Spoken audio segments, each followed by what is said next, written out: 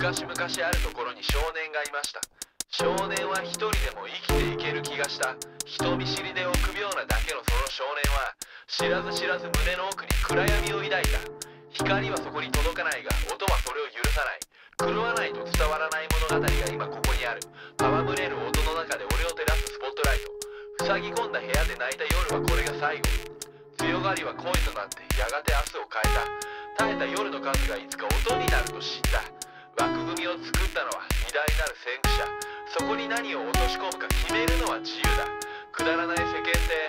それに勝る経験で誰にも真似できない。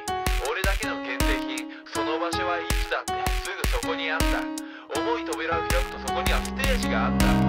音ならそ矛先に救いなんてないんだけど最後まで生き抜く道しるべがある。空間を埋める旋律置いてきた現実この瞬間だけは確かに生きていることを感じる。目の前に広がる無数の影は暗闇を彩る無限の光に音がそれを変えた。生きる意味をくれた。そしてその音はいつまでも幸せに響きました。